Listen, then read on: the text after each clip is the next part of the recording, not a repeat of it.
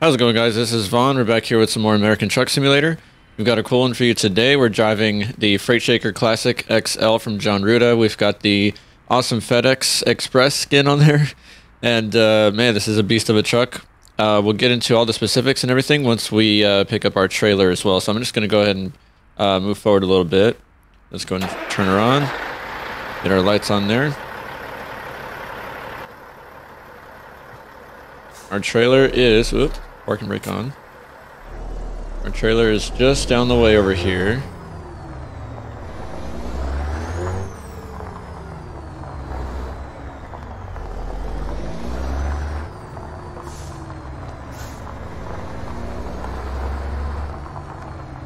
There it is right there. Finding new route. Hope I pulled forward enough. Uh, where we don't hit that low boy behind us. You have arrived at Yeah, we're fine, okay. I guess the GPS is trying to take me to my trailer, which uh, we I appreciate, but we don't really need GPS guidance since we're only a, a few yards away from it. But yeah, we'll take it. Alrighty, let's attach. Sweet. All right, so let's just run through what we got here real quick. Uh, so again, we have the classic XL freightshaker, 70-inch mid roof, and then we're pulling the Barrett livestock trailer from Pizzster. So uh, that's what we got going on today, and we've got a uh, 550 horsepower cat engine in there, uh, 18 speed trans with a built-in retarder in it, uh, 280 gallon fuel tank. Man, this thing's a beast. Unfortunately, the chassis only came in one option for this uh, for the mid the 70 inch mid roof. I think this is part of the, the latest update. I want to say, if I'm not wrong, um, but it only came with one chassis option, which, which was a six x four. So it's kind of what we're doing. Uh, but uh, man, what a beast of a truck! Uh, we're pretty much ready to take a load, so I'm gonna go ahead and go to a job market, see what we can find here. Uh, let's see. Got quite a few that we can do. How about to Rock Springs? Oh, starting in Texas. no wonder. Yeah, we need somewhere in Montana. I wasn't paying attention to the pickup point. Okay. How about this one? We'll take this one. Um, it's going to Hell Creek Ranch. Uh, so we actually have to drive a little bit to go pick it up, which is which is fine. It's only a four-hour drive, so it's pretty short. So we get to see a lot of Montana along the way. Gonna take us an hour, 11 hours to get there. Uh, so let, without further ado, let's get going. So I'd like to also talk to you about where we're at right now. This is a custom logging site that's part of ATS expansion. Uh, this specific location is in Troy, Montana, but there are a number of locations that you can access uh, using this mod. And uh, let me just actually, I can stop right here and just give you a, a brief glimpse of what we're looking at. Go my outside view here. So this is what you get when you purchase. It's a. It shows up as a garage option, but this is what you get. You get an entire logging site, and the entire distance that you have to travel down to get here. And there it is. There's your entire uh, ranch or working sites there that uh, they differ between locations. Uh, some will just be like a, a farm and a garage attached to it. I think I've shown you one of those already. Uh, another video. Um, but uh, this particular one has got a lot of a lot of areas to like you know, it's a logging site, so there's a lot of production going on here as far as uh, tractors and workers out here. So it's super super cool. And then you've got the different little uh, you can see the little white squares over there. Um, those would be where you would uh, either fuel up or get your garage configuration options, uh, or where you would park to repair or upgrade your truck as needed. Um, in my case, because I have the mod that gets rid of those neon green icons, that's why the, the white squares are there. But otherwise, you would just see the uh, the green the green icons and such. So, really cool that you get that with ATS expansion, and that's not all you get. You also get uh, different delivery sites, such as the one that we're going to, Hell Creek Ranch. Uh, those are also custom as part of the ATS expansion mod. I'll have a link to the um, page where you can install it, and it'll go through all the details because each state is different. Each state will have its own locations and garages and such you can purchase. So I'll have a link to uh, to that, so you can go and check it out. That way, I don't ramble on about it in this video. so for now, I think I'm going to go ahead and just go over to our roof view, um, and then just let you enjoy the drive as we uh, as we get out of here. So I'll shut up and let you enjoy it.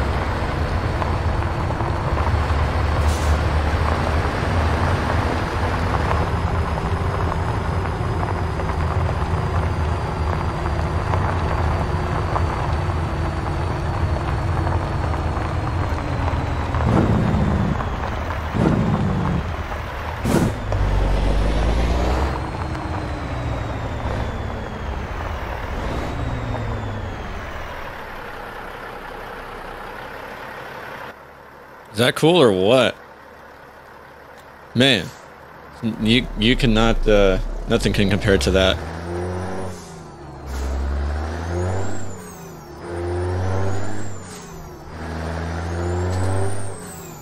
Holy cow! And that's just one of the, uh, the locations that you get. You can have uh, several of them things. Uh, each one will differ uh, kind of like the, the one that I showed you before of the uh, uh, custom farm that we had. I think it was in, uh, man, was it in uh, Wyoming? Cody, Wyoming? I think we have a, a ranch over there, or a farm. Uh, and then we've got in Waco, Texas. I think we've got a ranch over there. It's part of this ATS expansion. So amazing stuff. You've you've got to go and check out the uh, the mod there. And uh, specifically, also they have the different versions for um, uh, what do you call it? Um, coast to coast and Great America. So they have different versions of ATS expansion depending on what you're going to run run it concurrently with. Go straight. So just got to pay real close attention to that, and then also that the uh, the mod requires uh, two other uh, instances of ATS expansion, uh, the different uh, assets to the mod that you'll need in order for it to work. So you have to pay attention to that as well. And I believe that you can get them on uh, Truckee. So, but I'm gonna have a link to the actual forum, the actual ATS expansion forum, where you can go and read up on it, see all the cool features and everything. So, good stuff over there, man. Uh, we're, I think it's on, uh, we're running version 6.5 right now.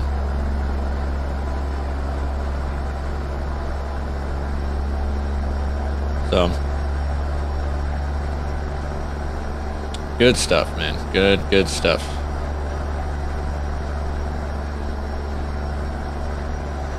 And yeah, the uh, the location that we're going to, um, that we're, or that is that we are taking our cargo to, or livestock cargo, is uh, excuse me, Hell Creek Ranch. Um, that's one of the uh, locations that we can get. Uh, I want to say that you can get a garage there as well.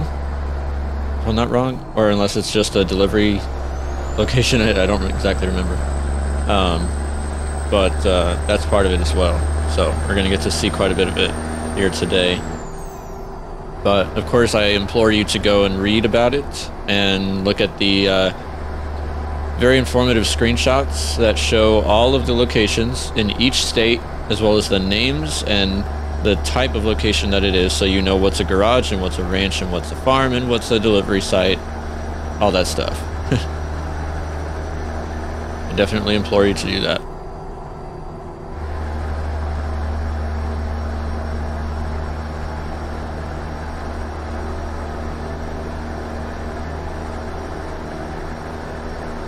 And in other news, I am very glad to be able to uh, make this video today because, um, as I had covered yesterday uh, in yesterday's video, yesterday was when I got my wisdom teeth pulled out.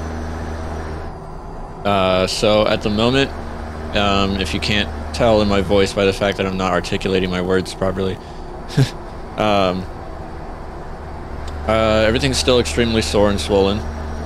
Um, I can I can talk fine. Um, it's still hard, of course, um, but any you know basically any movement of my mouth is uh, you know still painful. Um, but um, yeah, everything went super well, and the uh, of course it was one of those uh, things where they put you under and I have just very, very, very few and far in between glances. Oh, you know what? Let's get our interior light on. Woo, that's bright. I may need to, I may need to turn that down a little bit. Maybe I should have went with a softer color, but this one's orange. Uh, I thought of going with orange, you know, for the um, the, the uh, FedEx Express uh, skin that we've got there. It's also kind of funny the fact that we're uh, we're running uh, FedEx Express skin, and we're taking kind of, kind of not FedEx product. Um, but anywho, I mean. I like this. I like the skin a lot. Um, there were so many to choose from as well. So many different uh, custom ones that that come with the uh, the truck.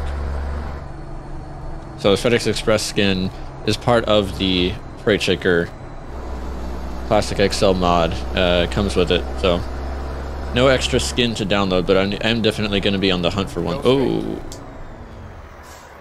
yeah, we got to stop here.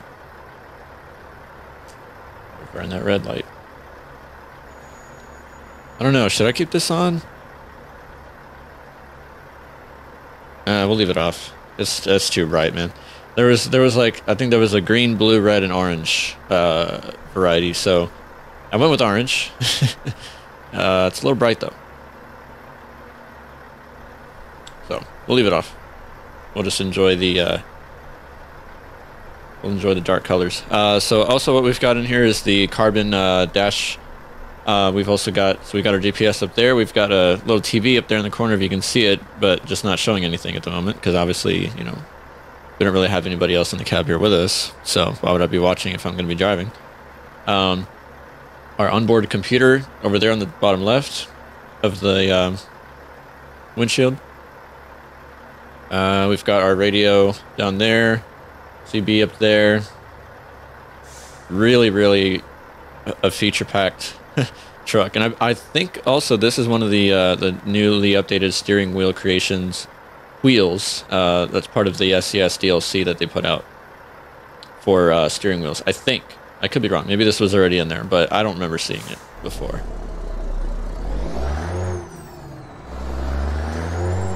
So you can, of course, correct me if I'm wrong.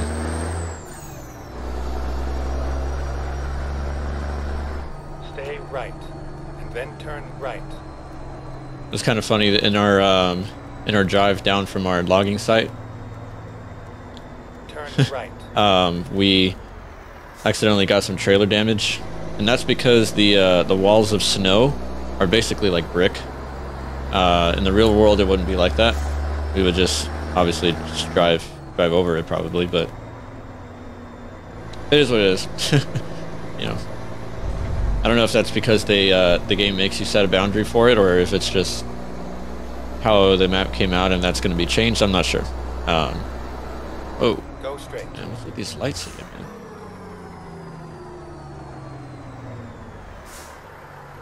Catching all the red ones.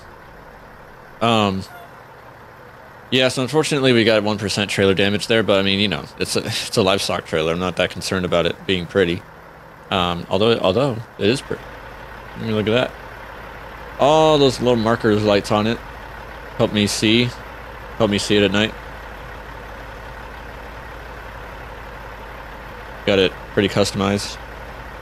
That's a free trailer, by the way, from Pizzster, so I'll have a link to that as well.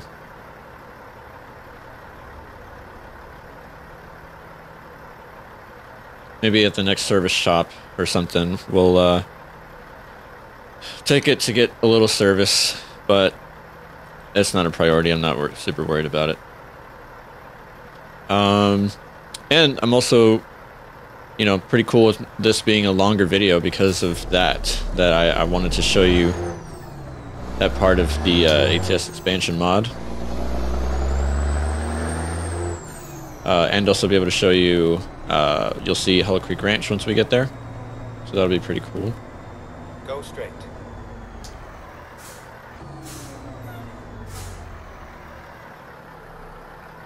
Um, I, at the moment, now own all of Ruda's uh, ATS trucks, I believe. So there's a W900, 389 glider, Classic XL. No, I'm wrong. I'm wrong. He has a Cascadia there too.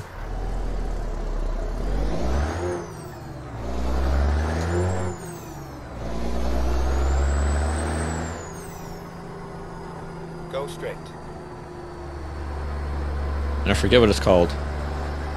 Alright, we gotta get over here, buddy. Thank you. Um, Oh, you can also kind of see we've got some tint on the windows. Or the, uh, sorry, the windshield. Not all the windows, just the windshield. The, on the very top there.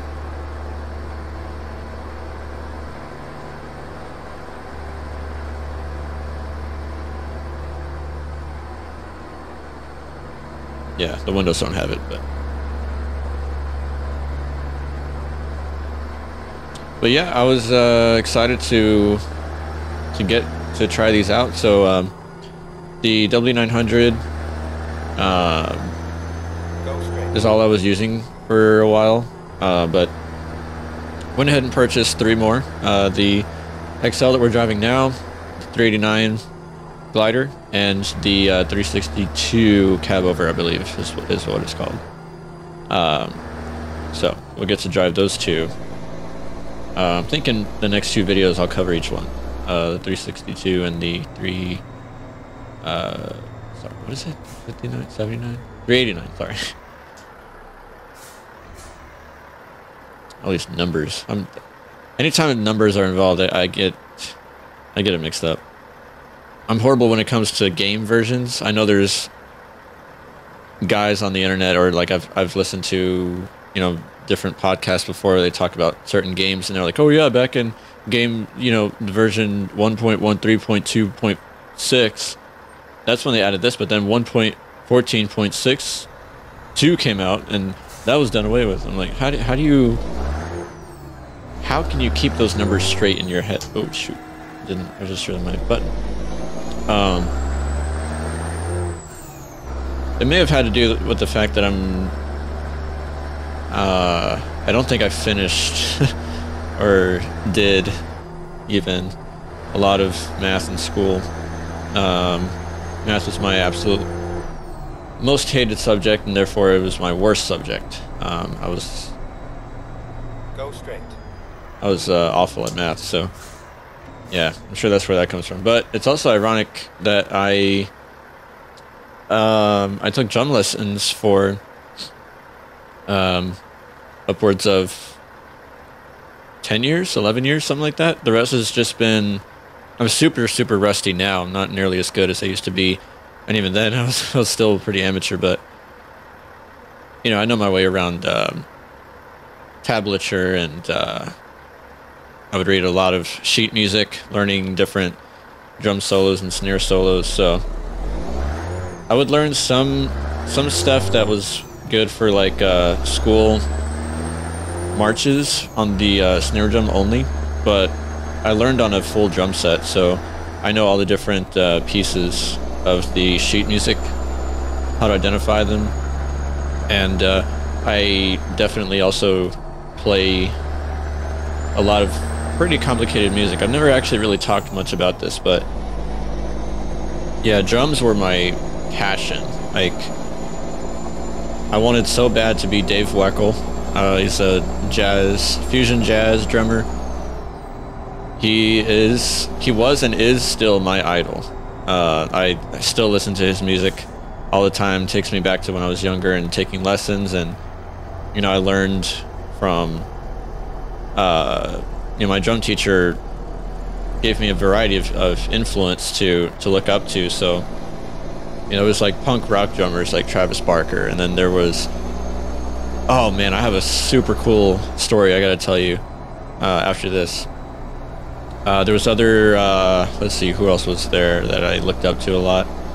Dave Grohl, obviously, you know, Nirvana, and uh, then you know Foo Fighters. So my my absolute like uh, childhood music was alternative rock or grunge, that that kind of stuff. Soundgarden, Pearl Jam, Audioslave. Oh my gosh, I remember I was uh, back at our old house. Um, I was probably 12 or 13 years old. I would get up super early on Saturday mornings, go downstairs and turn on my stereo, plug my headphones in, and just listen to uh, that Audioslave, the first album, on repeat over and over and over and over and just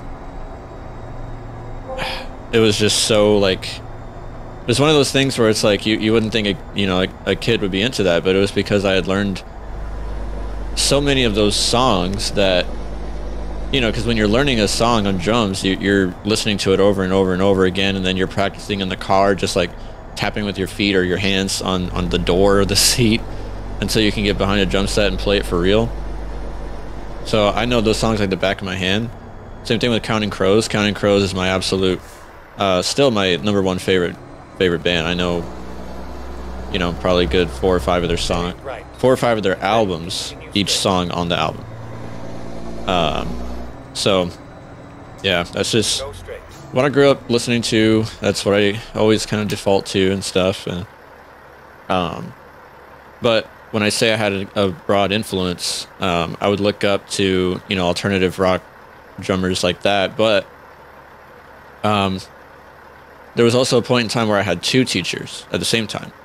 So the first one that I had been with, uh, you know, since forever, who first started teaching me at, at age six, first started teaching me, uh, as in I was age six, not him. Um, he uh, got me into some pop music as well. He got me into some, Stay right. Then continue straight. uh, what do you call it? What else did we do? Oh, Latin music. He got me to some Latin music. Uh, there was also for, oh man, I was just about to start slowing down too, and the speed limit just barely changed. Oh, and now it's back to 35 again. Man, what a bust. Um. Okay, we don't want to get hit with a second ticket. so, um.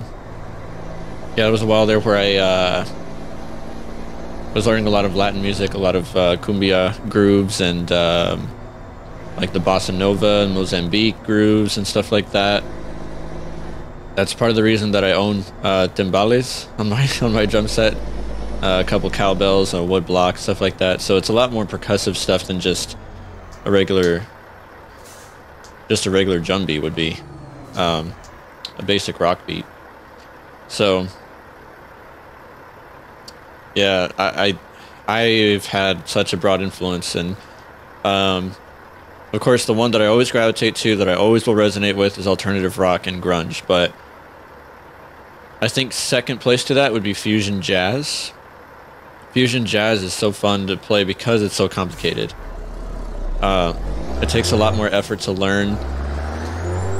Um, and I don't know, like the uh, the easier music to play is kind of stuff you do to to unwind where you don't have to really think too much about it. You just keep the groove, keep the rhythm, and you're paying more attention to the rest of the. Uh, you're paying more attention to the lyrics, I think, when people listen to, to rock music.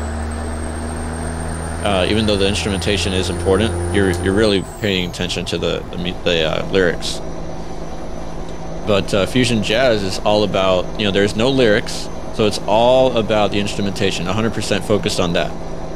So if you know fusion jazz, you would have your piano, the floor bass, drums, organ, violins, horns, woodwinds. I mean, you'd have so much going either at the same time or that it would someone step in and out of the of the uh, of the song in different parts. But one of the things that carries the song the most is the drums. Uh, it's like an it's like the backbone of, of any song is is the drums and and also combined with the bass uh, it could be a floor bass, electric bass, anything. Like the drums and bass staying in the pocket, and then the other instruments kind of revolving around that uh, is what makes drumming so fun. Uh, but it's especially fun once you get into complicated time signatures and uh, what do you call it? There's another term I'm looking for, but it's it's not coming to mind. Where the uh, the song will change uh, not only time signatures but also tempo and also the uh, it's that's not coming to my mind. Just the the song is very complex, so the entire arrangement can change and then go back to what it was before uh, anytime.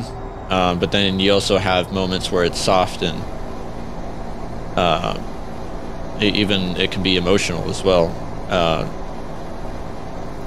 so fusion jazz, I really love. I I'm not a fan of smooth jazz. Like smooth jazz is one of those genres that I do not listen to like ever, and whenever I do, it's for some reason it, everybody has their genre that when they hear it, it just makes them angry. I don't know why, but smooth jazz just really does that. It's like to me, smooth jazz is like the pop of of jazz. It's so bland and so just, you know, it feels like everything's on a loop.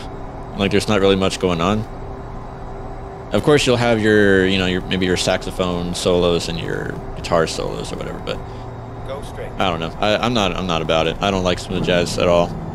Um, and there, I'm not saying that there's anything wrong with it because a lot of people like smooth jazz. So I know that it's just purely a preference of mine, but still. But fusion jazz, I, I love because of how complex it is, and um, you know, there's bands that I, I watch constantly. You know, I'm bringing it up again, but the Dave Weckl band is one of them. Exit right. uh, Dave Weckl is one of the masters of his craft. Been playing for decades and decades, and you can tell in just the not even how complicated his grooves can be, which they can be, but just his his fluidity and his confidence behind the set is just you know because you look at a, a punk rock drummer and he's he's got he uses force and he uses you know it's a it's a lot of uh, energy and a lot of power that goes into your playing style. But fusion jazz is like every small subtle hit that you do is part of the song. And it's like just having the craft to be able to know when to ease up on the dynamics that you're playing and when to really push it forward and also how to you know keep time signature and and manage those complicated rhythms and grooves without straying off of the beat. Um i don't know. I love it. I, I- it's an art form to me really. So that's one of the things that i love about uh about knowing how to play so many different types of music is you get to appreciate them all that much more once you're once you know how each one works, once you know how each one evolves and changes, um, and uh, it really just broadens out your your skill set because you you know how to play a certain way when it's a rock band, but you also know how to play a certain way when it's a jazz band or a Latin band, or you know when to stay more in the background or when to support more of the, you know, the, the uh, lesser heard instruments so that the the rhythm, the pocket stays tight. But you know, in a, in a jazz band, you might have a saxophone solo or a guitar solo, and that's when you you ease back.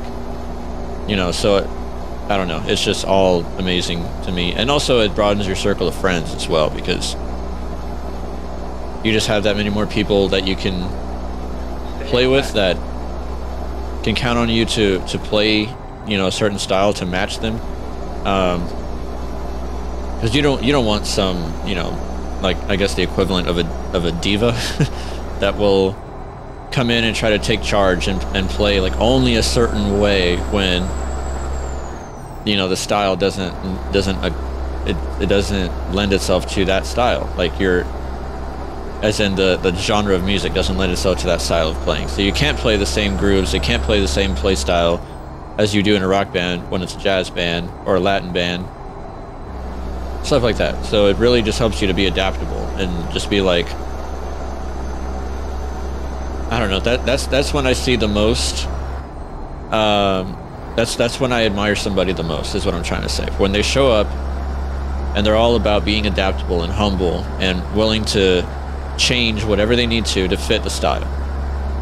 You know, they don't show up and demand that everybody play a certain way, or they don't demand all the attention. Uh, let's get our wipers on here. It's, it's front and port. Um, you know, they show up and uh, they're they're all about supporting the band. They know that the drummer is the backbone of the song, the backbone of the band, and they they're there to support the band whichever direction it may go. They they don't come in and try to change things or demand that certain things be done a certain way.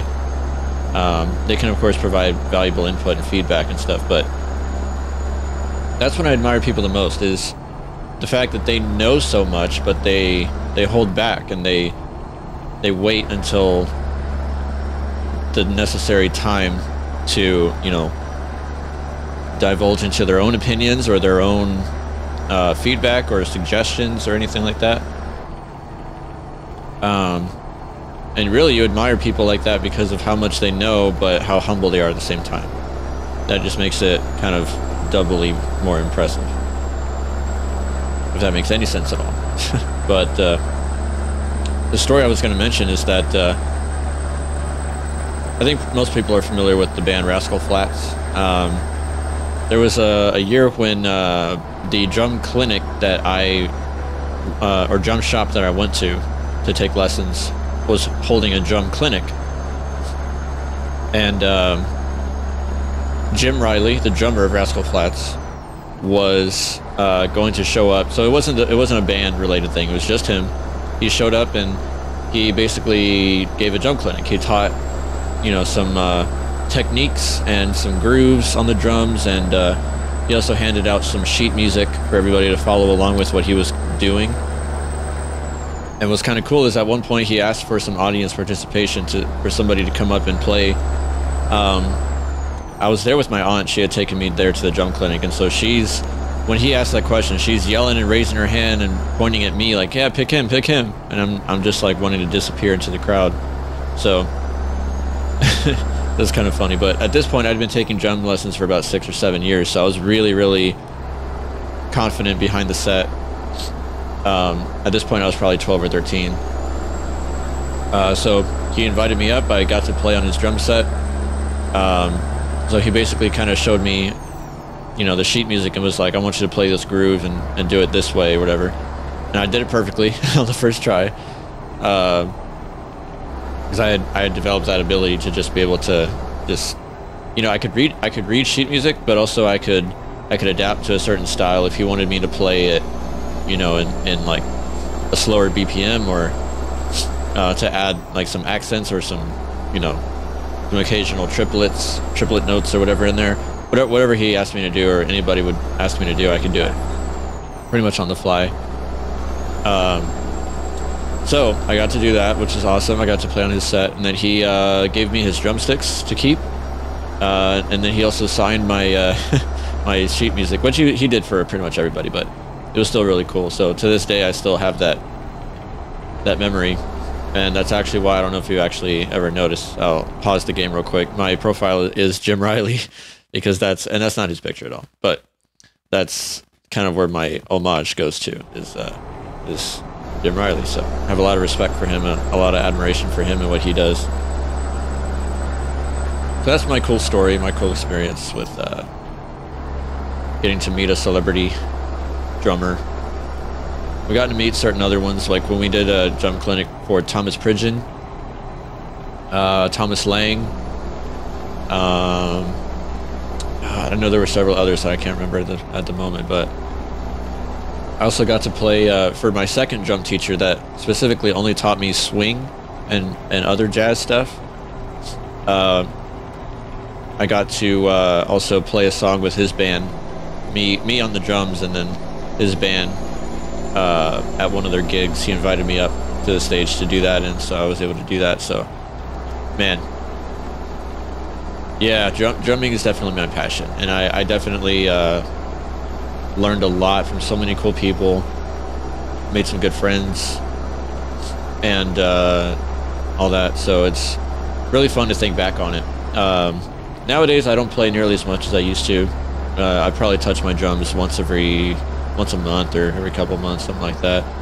Uh, I used to practice an hour every day. So it's kind of, uh, you know, a lot has changed since then, but still a passion. And I still definitely uh, enjoy it whenever I get a chance to do it, even though it's rusty and out of pocket, not offbeat I can be now. But, um, yeah, it's it's been a blast, man. All those years of being able to do that, and uh, it's expanded to the point where I'm, I'm a lot more interested in. Uh, man, I'm not staying in my lane here. What's going on? I'm now interested in uh, you know guitar and piano again because I I had initially started my back when I was probably five years old. I started drum lessons at six years old, but at five years old I started taking piano lessons uh, so I've been interested more in a, uh, a, lot of piano stuff and wanting to kind of try to learn that stuff again. Um, all that stuff's really fun. Um, so you know, I'm just a I'm just a music buff in general. Like I listen to music, you know, hours every day. Uh, it, so many different genres and types as well, and I appreciate them all all the more so because of how how much I've been able to learn about each one. So yeah, it's been so awesome.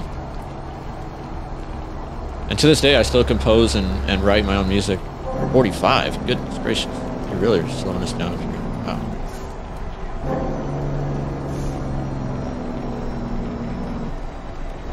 Yeah, I still compose and make my own music. Um, I pretty much record and produce uh, all my stuff. Uh, I've been a lot more interested in uh, making uh, soundtracks for like films and video games. So I, I, make, I don't have actual commissions to do that, but I, I make music that could be used in that form. Just just trying to get more practice into, you know, into learning how to compose and write in those aspects. So I've got a lot of software and such that I use as, you know, synthesizers or virtual uh, symphony instruments and uh, a lot of really good software out there that's super affordable or sometimes free that you can pick up and I think what helps you get the most out of your sound no matter how much you pay for a software is knowing how to use it. If you know how to get everything you can how to just squeeze everything you can out of that plugin or that software you can really go places with it and make some incredible stuff even though it may not have all the features that you may need that's why you know you, you go with more than one program or you sometimes do need to invest in a good quality uh, plugin stuff like that. So that's been really really cool for me to just gradually improve and learn over the years how to do so many different things and it really is humbling the more that you learn because the more you realize how many different aspects and avenues go into like music production or or music composition and stuff like that. And especially when people you know you think you know everything and then you talk to somebody who's super into one of those aspects it really helps you realize and appreciate how much goes into it and how much experience and insight and knowledge these people have that, that do it professionally on a professional level. It's incredible to me.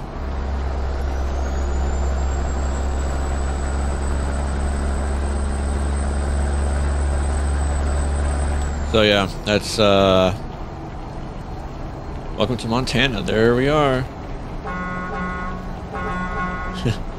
uh yeah, it's been babbling for a while about that, but you know, when you're passionate about something, you have a lot to say. Um,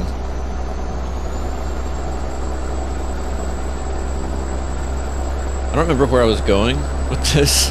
Not the whole point of this uh, conversation.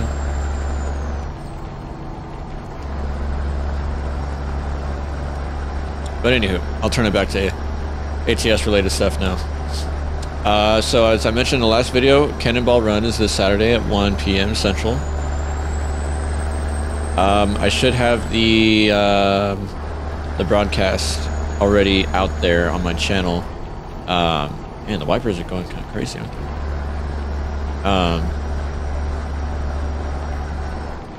should already have the broadcast set up for uh, for the stream uh, out there on the channel so you can go over there and uh, select to be notified of it. Uh, I know that some other streams are going to be happening. Uh, Recon Lobster will be streaming it. Dan McNary or Goggles56 will be streaming it. Um, I want to say we've got a couple others as well. I don't remember. I don't recall at the moment, and uh, I apologize about that. I know I should probably know everybody.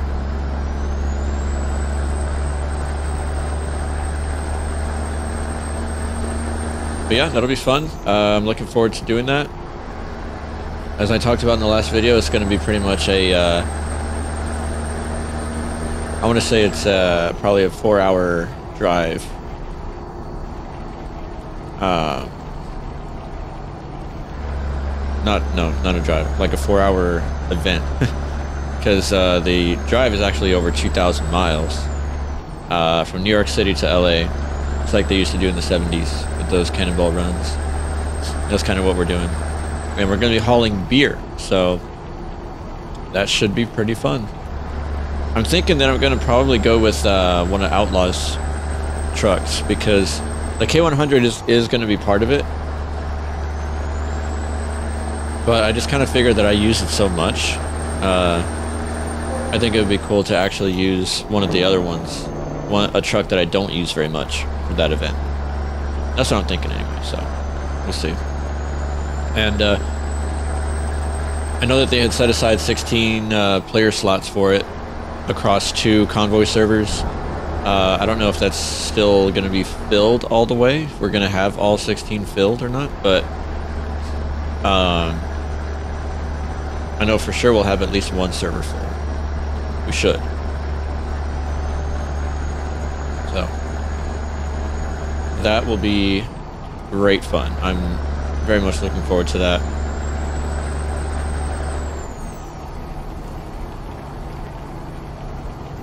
Wish we could get this rain to go away. We're approaching a lot of, a lot more dark clouds up there, so.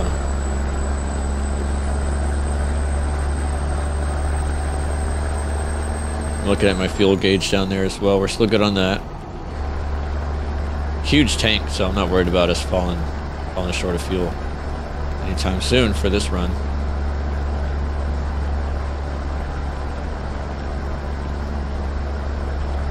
So yeah, we're looking forward to that on Saturday. Hope to see you there. Uh, I'll be streaming, you know, the whole thing, including the before and after.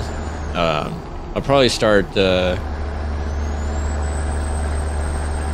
I don't know. Probably do some stuff on that server, you know, a little bit earlier before the event actually starts. Just uh, doing some deliveries and stuff like that. We'll see.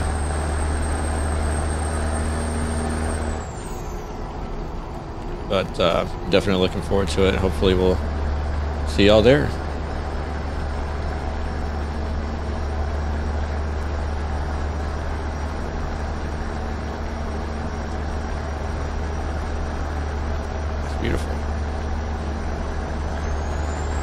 We are driving, uh, it feels like just about across Montana. The gorgeous state that it is.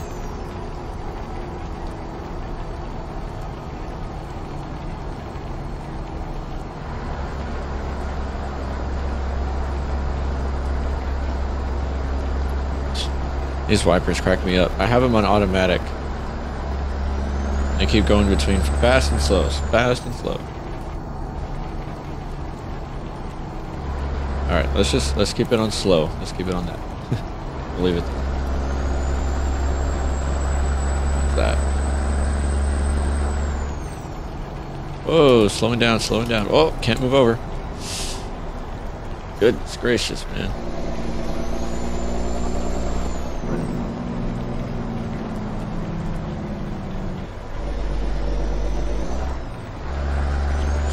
that? Ah, that's fine. Okay, we're getting over here.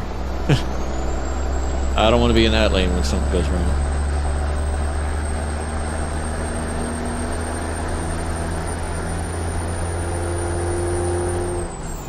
Whoa. Sweet. Got the green light?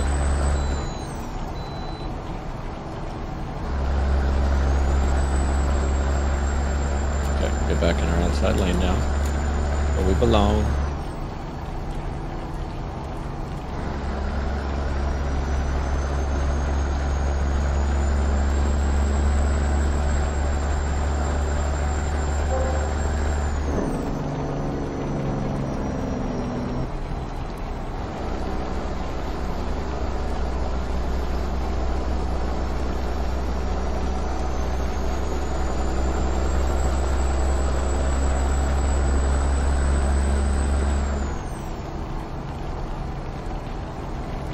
Rain needs to go away, man.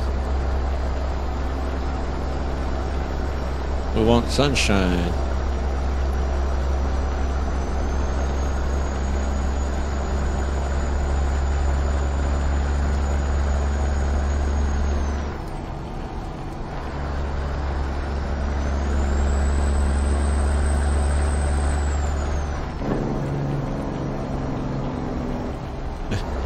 Paying attention. As usual.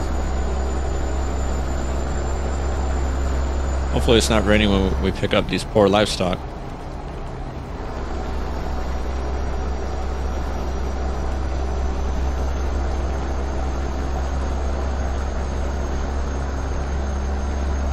Now that I think about it, it's been a while since I've actually seen some lightning happen. I don't know if that's just me or not, but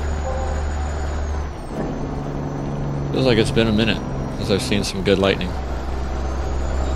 in the game. Then exit right. Here's our exit. Exit right. I think we're going to Roundup.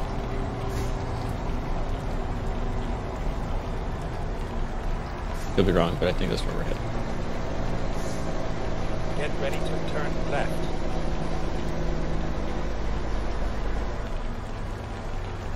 Stop here.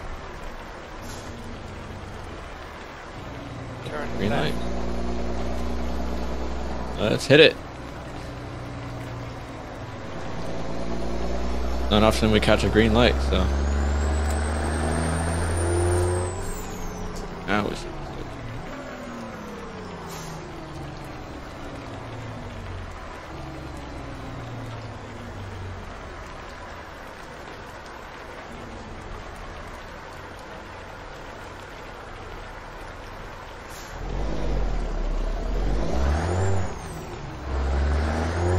Ooh, Nice Kenworth there. Oh, Peterbilt actually. Then turn right.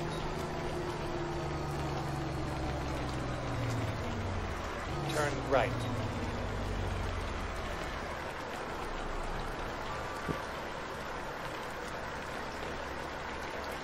We've also got a cool light bar up on our uh, on our cab.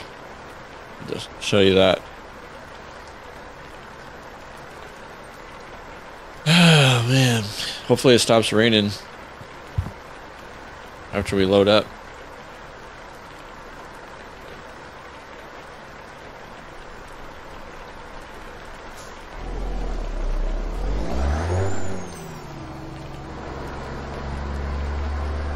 Got a really quiet blinker here too, which is good.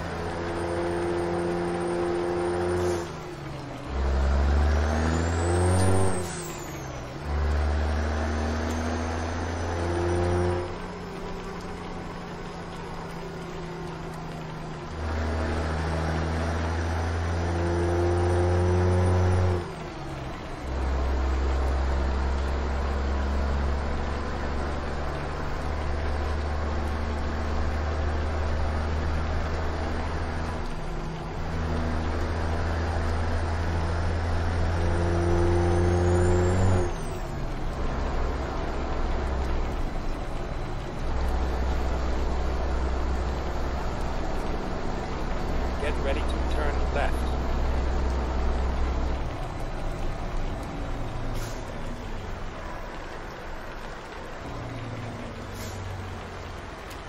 Turn left. Here are. Whoa. Those frames, dude. What are those frames about? Dropping frames on us a little bit.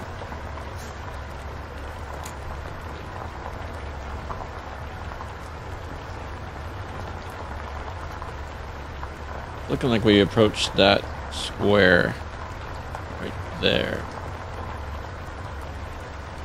You have arrived at your destination. Looks to be it. Let's approach here. Let's pick our market job here. There it is. Yep. So we're going to Jordan, Montana at Hell Creek Ranch. Sweet. Okay, so that's where we pull in right there. Uh, let's see what we can do. I think probably we can pull.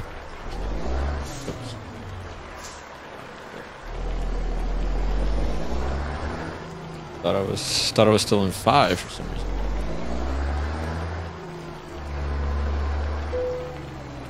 Yeah, we can probably just use this area here to back it up in there. Just have to turn it around quite a bit.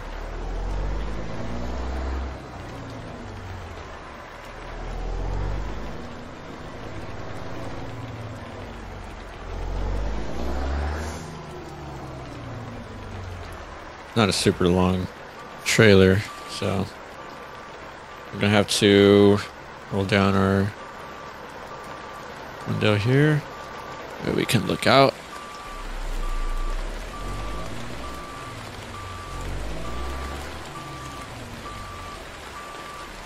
I don't think we gotta turn it too tight either. Okay, we're not gonna hit anything. Just had to make sure. We're clear on that, so.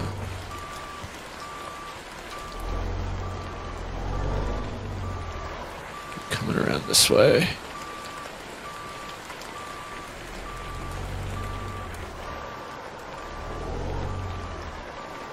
Okay, we're clear there. Not gonna hit anything.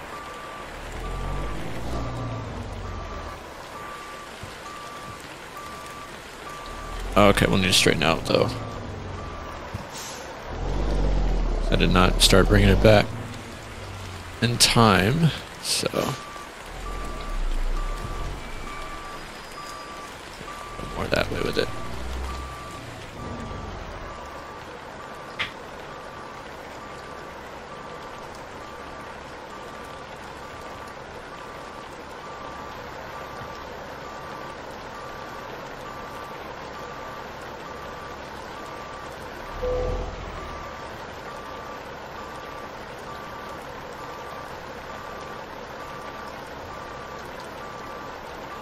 Hopefully we get the green on this one.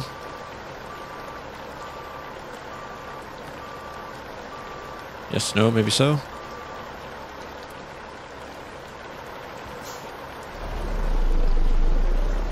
I don't know if we actually went far back enough. Maybe we didn't, but felt like we did.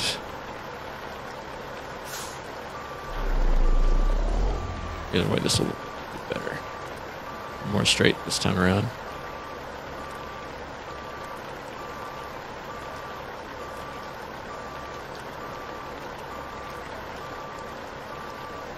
There it is. Yeah, not totally straight, but we got it. Alright. Close our window back up. I love that animation, that's cool. Stop our engine, and we are loading up. Gonna take us till about 10 a.m. Oh, rain's gone. Sweet. Nice and sunny again.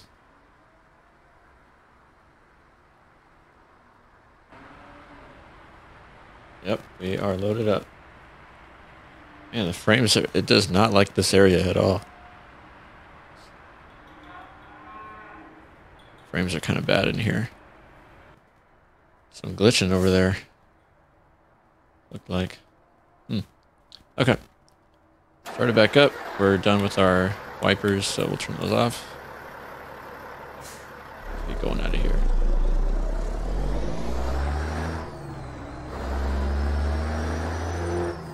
I didn't pay attention. I didn't catch how much we're pulling here, but we'll find out soon enough. Probably have to stop by a way station. Get ready to turn left. Turn left.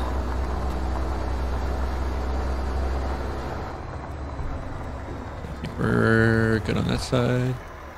Can't really see much that way, but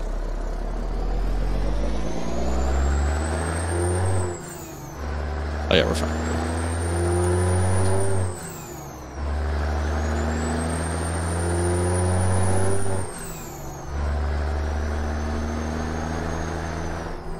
All right, so we got a pretty short drive ahead.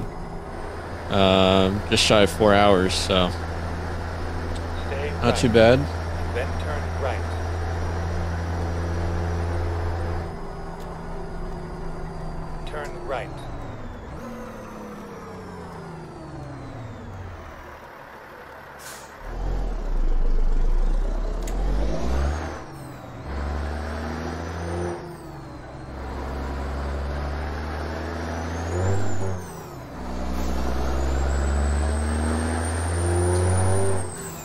What it is exactly about this area that it doesn't...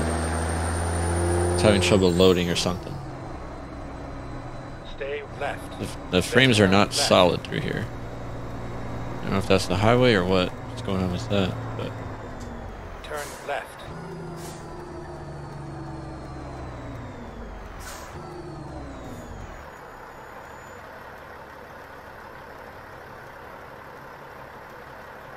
A little better now. Don't know if it was just loading other stuff or what.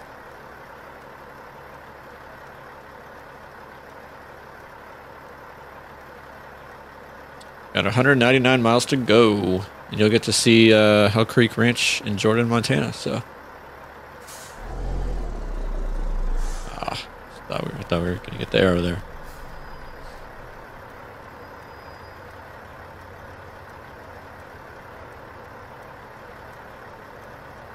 Man, I love this carbon, uh, the dashboard material. Looks so nice. I did think about going with a wood grain, but I like the modern look in this truck.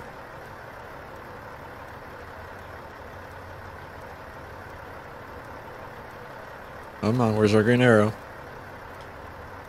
There it is.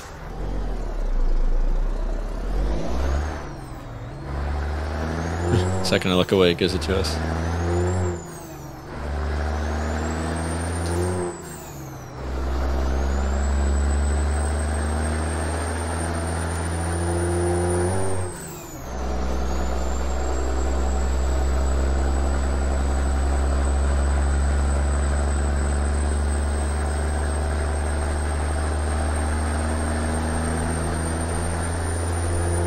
Oh boy. You let us in? You let us in? Nice. Thank you, sir. Appreciate you. Thank you there.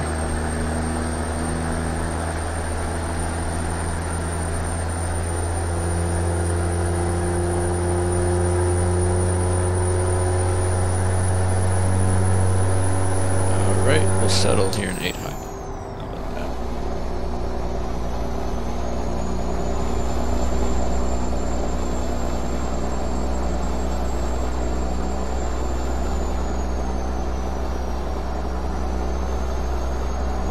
Love the detail in these Ruda's trucks because we got the scratches on the windows and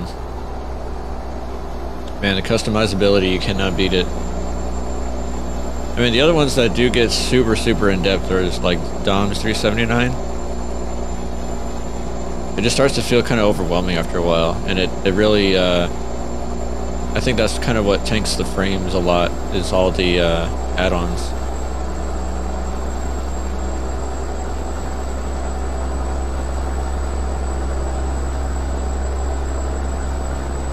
Which, if you got if you got the uh, the power in your PC,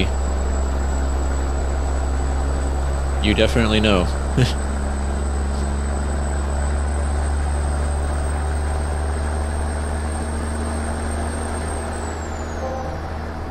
but I've talked to some of the guys in the uh, in the Discord server that have much much better PCs than me, and even they get the the frame drops and uh, the certain things that tank the frames, like the uh, certain trucks.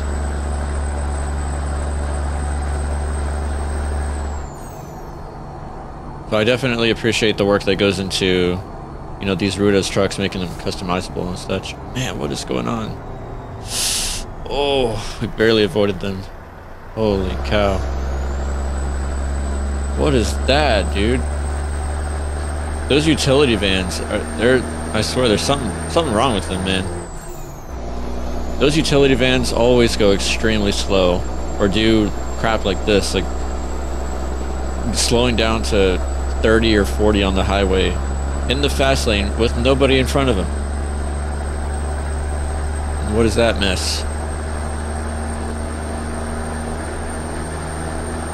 It's always these guys with the the glass on the side. Crazy.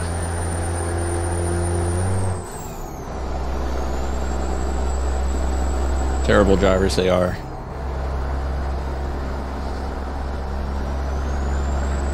They are indeed.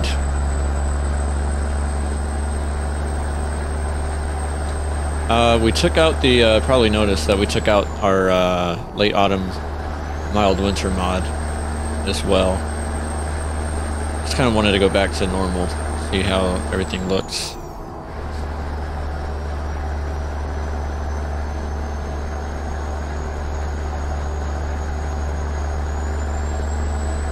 And I guess the other thing that I do notice with the, without having color correction on, is that the colors sometimes look a little bit overexposed. Kind of like here, you can see the detail in the, in the grass or the sand. And you can see the detail on the road, but it does look a little bit too bright. Stay right. Um, unless I go into the outside camera like this, then it looks totally normal. So, not sure what's up with that. Exit right.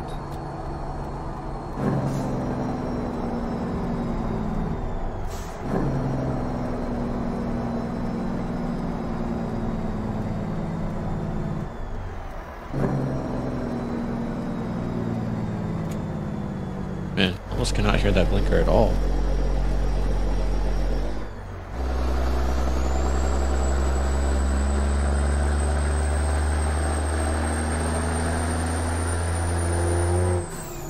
This cat engine to work today.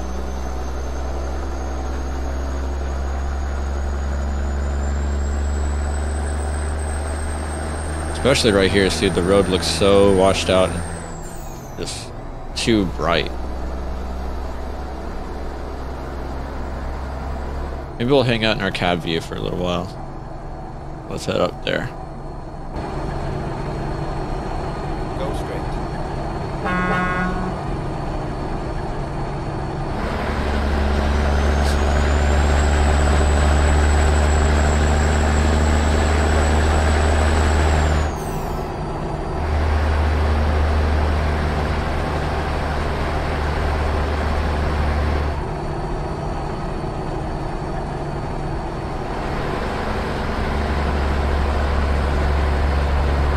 City discovered. Nice.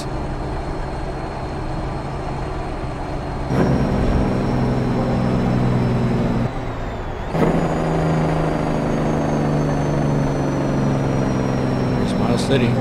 We gotta slow way down through here.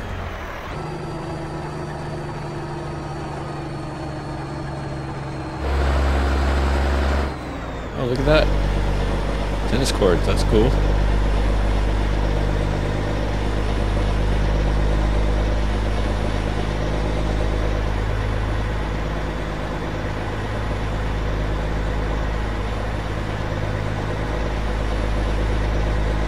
Pretty cool. Nice place to sit out there. Then.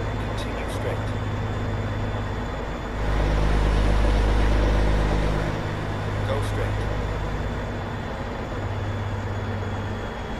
Oh, whoa, whoa, whoa, there, buddy. Stay there. Stay left. Then turn left. Turn left.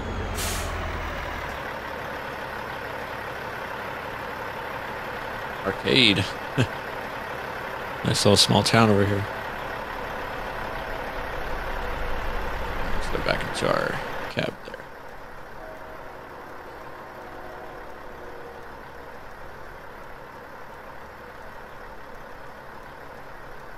Waiting on our green arrow. We've got 90 miles to go.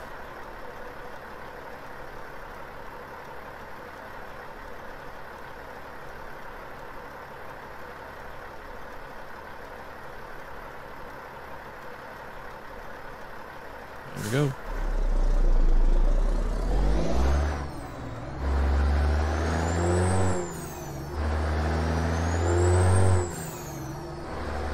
Stay right. Then continue straight.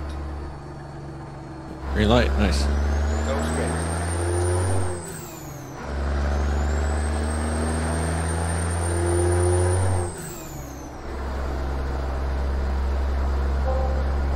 Oops, sorry. 25 still.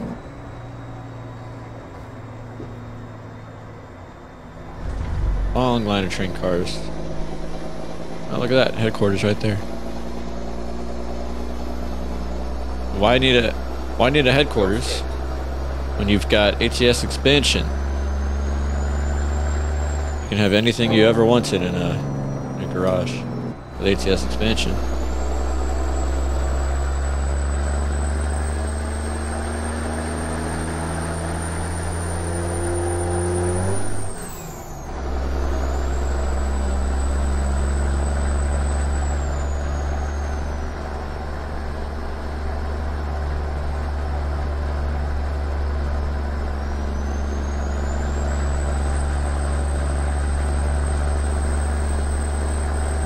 Beautiful out here.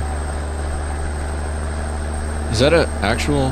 Oh, okay. That's just a- oh shoot, we're going off the road there. I was busy looking, uh, sightseeing, looking up at that. I couldn't tell if that was a real man on a horse or uh, just a sign. It was just a sign. Go straight. It almost made us wreck.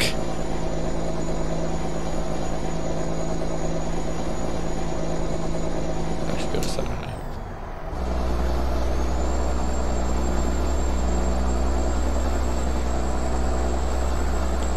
Man, I don't know why it's a random thing, but I want some ice cream really bad right now. Sucks that I can't really have that.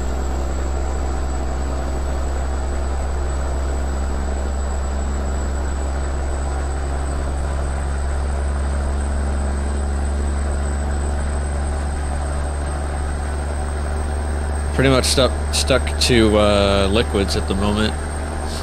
Can't really. Uh, it's not numb anymore. Like the numbing wore off by last night. But uh, yeah, soreness is definitely real. I can't open my mouth too wide, and uh, yeah, I just know the. Uh, what do you call it? Uh, the swelling is not going to lend itself well to something that's ice cold. So, Go straight.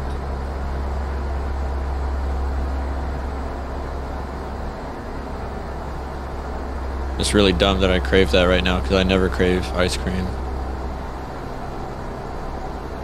I don't have a sweet tooth, so my guilty pleasure is salt. Popcorn or salted chips I could eat all day, every day. But sweet stuff I'll eat once in a while.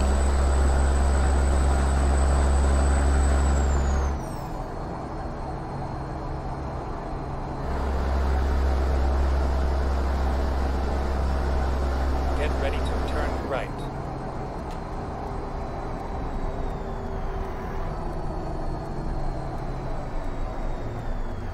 Turn right up here, so Turn right. ready for that.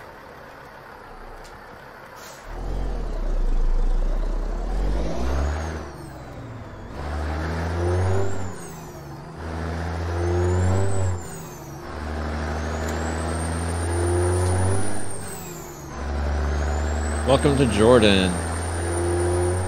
Sweet.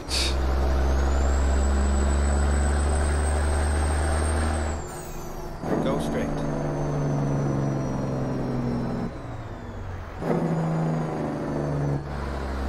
On the home stretch now, 31 miles to go. Let's go back to six.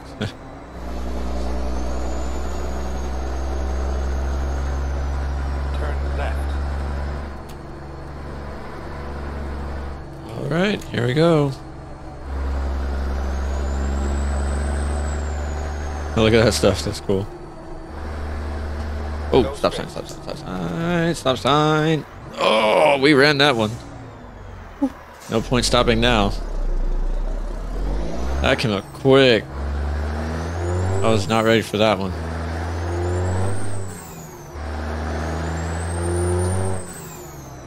You really cannot afford to get distracted. Might find yourself veering off the side of the road or running a stop sign or who knows.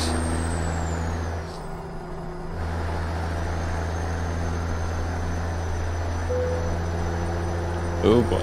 Well, we're coming. We're coming. Had a long drive to get over here, so.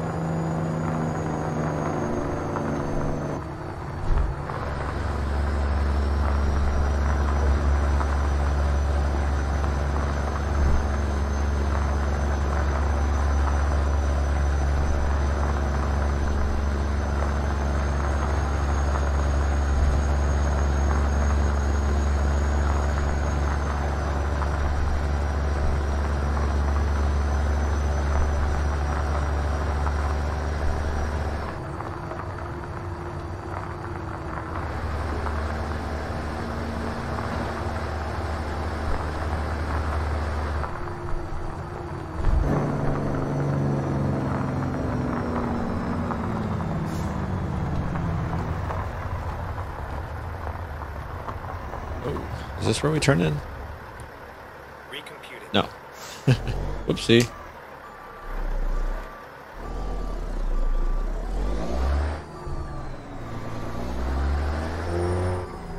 My fault. I turned a little too early. I saw the Hell Creek Ranch sign and... Oh, okay, so it's this part we, we turn into.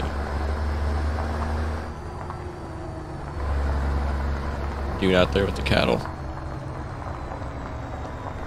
Yeah, this is it right here. And there we are right there. You have arrived at your destination.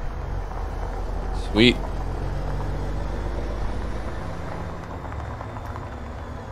Pull up over here and give us some room. So we gotta go to the other side of that uh, trailer over there.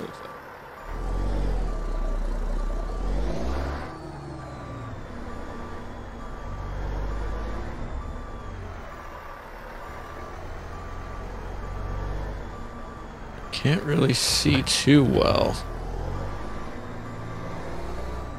What's going on over there?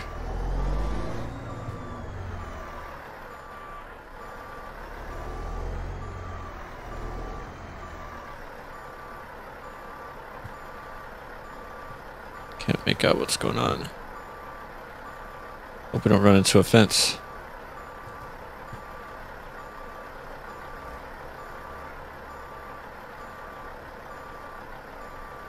Or another trailer.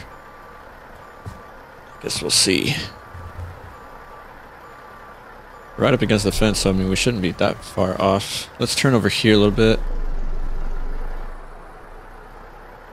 Oh yeah, okay, we are we are a little bit off.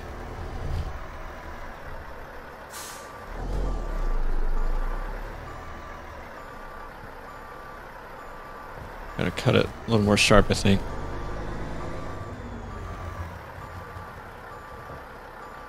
Yeah, we're a little.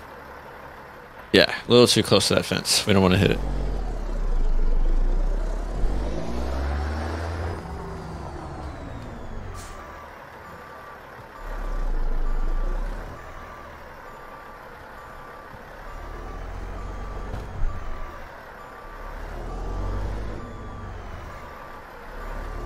So hard to see what's actually going on back there.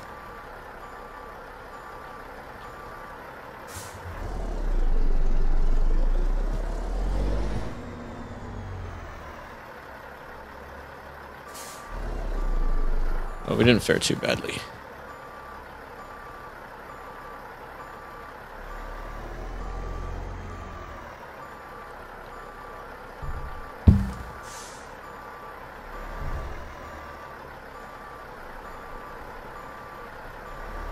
Yeah, we'll straighten it out again.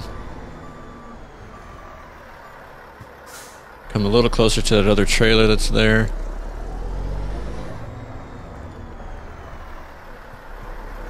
Go this way some more. Yeah, I just overcompensated to make sure I didn't hit the trailers that. Whoops. Turning it the wrong way. That's not going to help us any.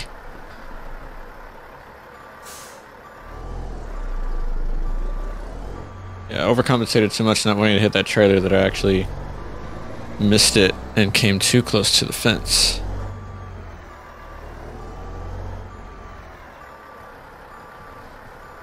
But we still got to go a little bit ways over, I think. Not too much.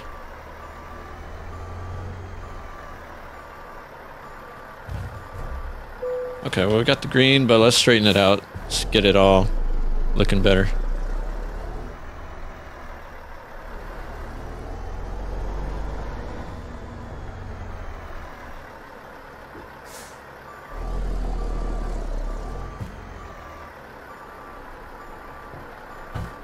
Be able to go straight back. Maybe turn a little bit. Like that.